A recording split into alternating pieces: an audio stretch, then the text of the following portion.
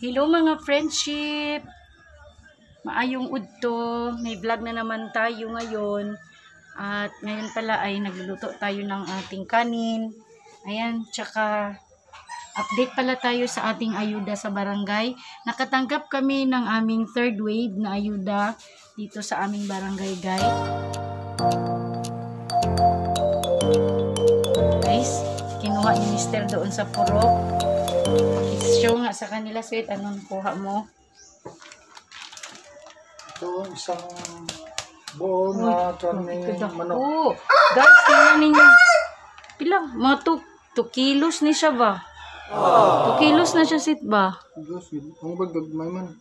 Oh guys, tingnan nyo, no? See, kadako, dako kayo siya nga chicken, guys. Very big, parang dalawang manok yan siya. Kalaki. Tapos At meron ding 6 kilos nga bugas. Oh, very Bigas. good.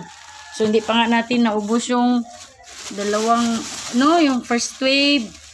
Ah, first wave sa itaas na rice, second wave sa ibaba. At ito pang third wave na yan siya, guys. May ara pa sa sulod. Oh, Ay, wow, may ara pa to di ay. Thank you, Lord. Okay, na ay. Okay, guys, meron tayong chick loaf. Ito yung hindi namin natikman last time sa second wave. Walang ganito. apat. So, ngayon, nakatry na talaga kami. Apat lang. Marami. Ay, apat na chick loaf, guys. So, apat na chick loaf. Chicken din siya. Hmm. Okay? And then, 6 kilos of rice. Tapos, more than 2 kilos of chicken siya, guys. So, timing. Kaya wala man may pang luto o sudaan. Kaya nahurot naman. Wala na to surot. Itubra tong atong ano. So, kasi kahapon guys, ang nabili ko lang sa palengke ay dalawang isda lang at saka take note, dalawang fish lang at yung Adidas guys, yung chicken feet worth 50 pesos. So, yun ang aming dinner kagabi. At grabe, naubos agad. Kasi ang aming mga alagang mga aso, gusto-gusto nilang kainin din yun. So, anong lutuin natin na ulam? Sigurado, ito na yung aming uulamin ngayon. So, nililili, nililinis na ni Erwin guys ang chicken. Ah, 599. ang price? Oh. Ay, ah, price pala yan? Dili, uy, bali na ang pag... Hmm? Ay, dako siya. Ah, ay, ito. Agoy. Dili, uy, code. Drug code man na. Pero paani? SDD. Oh, PPZ. Ah, dili na siya price. Ah, Code name na siya sa, ano, gikan siguro sa distributor sa manok. So, tingnan ninyo guys. Oh my God. Mura mo siya turkey sweet, oy. As in, dako gid ka ay. Hala, dako. Lugod ka una. Sige. So, linisin mo na lang yan. Sa una ni mo pagluto. Sa ni mo pagluto. Gamay na luto na. Ano doon, no? So, budget-budgetin lang talaga, guys, kasi para makaabot siya ng mga ilang araw. Pwede din siya isahog. Ay, baka magpansi tayo or magbihon tayo next mga susunod na araw, no? Pag makapamalingki tayo. Ay, magpalit na lang ako paminta. Ay, dugangan na ako niyang kwarta. Dugang, tagay ko kung jis. So, bibili tayo ng mantika, guys. Kay hurot na mong mantika o um, paminta din. Singko, pwede naman. At kuha po ng 20, oy. Okay.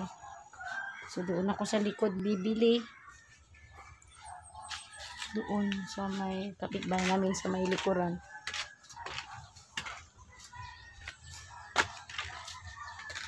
Buti na lang open. Buti open dito. Kadaan ako dito. Ayo, kuya. May mantika ka? Oo. Bakal ko 20. Ah, kana lang, kana lang. Og paminta. Nakakuha ka po dito? Oo. Ah. Powder o Oh, powder. Or may ara sang buo. oh, Okay na lang. sa Oh, isa po. Dahan ng aking kaibigan. Bye guys. Yan, si Kuya Bibot. 20 o... Ay, Silang ay tama di eh. One eternity later. Tahan ni magtanglad. Ang adobo. Mahilig talaga siya maglagay ng tanglad sa kanya adobo. Yan, dito ko pala sinampay ang aming basa pa man no. Ito yung aming mga trapo. So yun guys. Ito yung, by the way guys, update ko pala kayo sa aming garden. Ito na yun. Nilagyan siya ng balag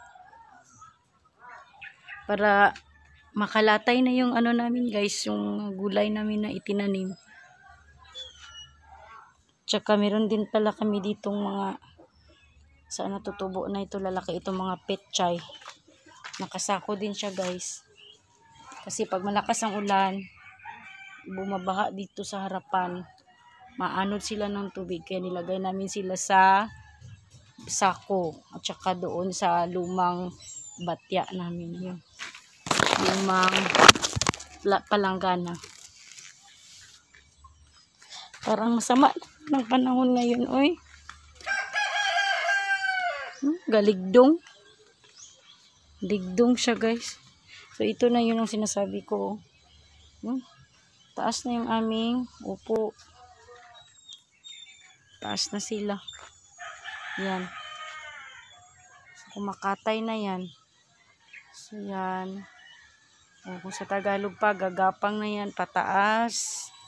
So, ito, dati na namin ito, sampayan din namin ito dati. Itong bakal. Yung sa, itong mga ampalaya dito. Malayo tayo sa ampalaya. Yung mga ampalaya din, yung mga ampalaya din, Oh, umaakyat na rin yan siya. So, pakyatin yan siya ni Mr. Murag pagid ning kawayan. Pagapangin niya yan, papunta dito, dyan, sa may itaas, sa may kawayan. So, ganun lang yung update ng aming garden, guys. Uy! What is that? Lechon sweet? Guys, akala ko mag-adobo ni siya, guys. Sa recipe ni mo, Mr. Chef. Ang bango, ha? Ngut siya ba? Masaba man ang aming dogi. Oy, siya ngayon ang ating chef para ngayong tanghali.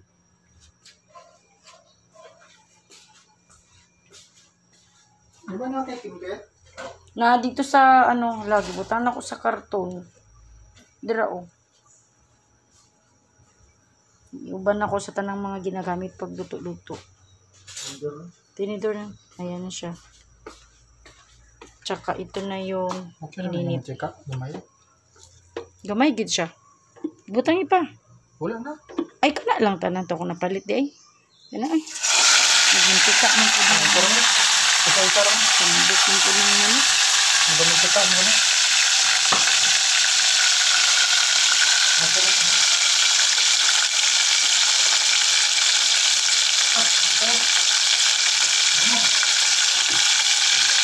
Mabango ang tanglad. Guys, habang naghihintay tayo na maluto yung kanyang ano, yung kanyang specialty na chicken sa aming tanghalian, siguro ah, tupiin ko muna itong mga t-shirt niya sa loob ng cabinet kasi nabungkag na siya guys ba. Yung Pag mag-ilis manggod na siya eh, hindi yan siya naga, ano, nagakuha muna ng damit, no? So, galing sa banyo, doon niya pa maisip magkuha ng damit. So, ayan, nangyari tuloy, nabungkag na halos na nga ano na talaga, no? Wasak-wasak na yung mga damit niya. Kailangan natin itong itupiin. So, magtupi muna tayo, guys.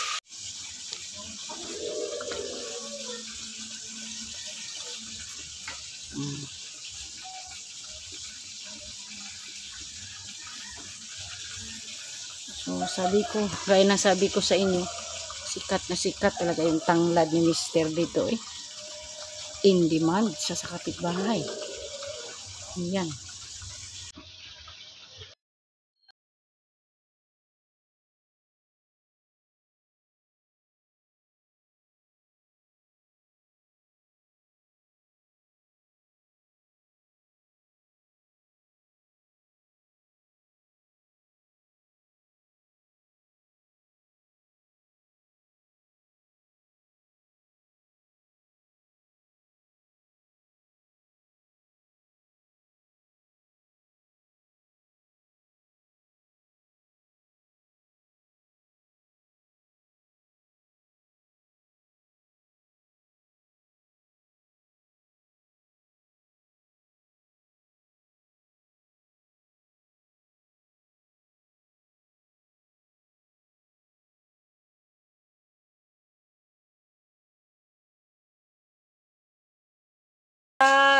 Yung garlic, no, yung bawang, masyadong ano talaga, no, nakakainggan yung kumain, guys. So, sarap ito imukbang. Kain na tayo, guys. Tikman natin. Nag-pray na kami. Bago lang kami natapos nag-pray ito.